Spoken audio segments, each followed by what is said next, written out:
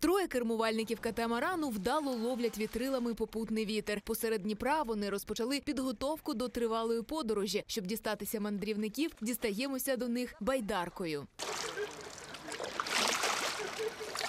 За кілька хвилин і катамарани відчайдухи поруч. Чоловіки не приховують, загартовані подорожами. Геннадій під вітрилами ходить не один десяток років. Річки та моря вважає, підкорюються наполегливим та відважним. Здесь э, мы достигали скорости 50 километров в час.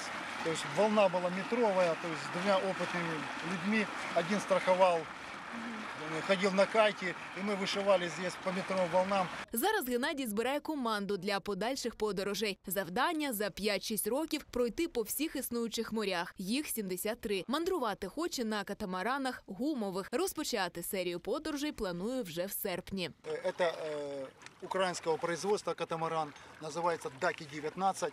Он весит 120 килограмм, разбирается, и 120 килограмм в трех рюкзаках перевозятся самолетом в любую точку мира. Вже зараз у команді Геннадія досвідчений спортсмен та мандрівник Олег Вся жизнь в спорте, потому и высоко прыгаем. та закоханий у свіжий морський вітер Сергій. Паруса и веревки, ну, э, это интерес мой последних 10 лет. Так получилось, что я совершенно случайно выйдя на прогулку с людьми, понял, что это мое. И с тех пор я каждый год стараюсь какое-то время уделить парусу.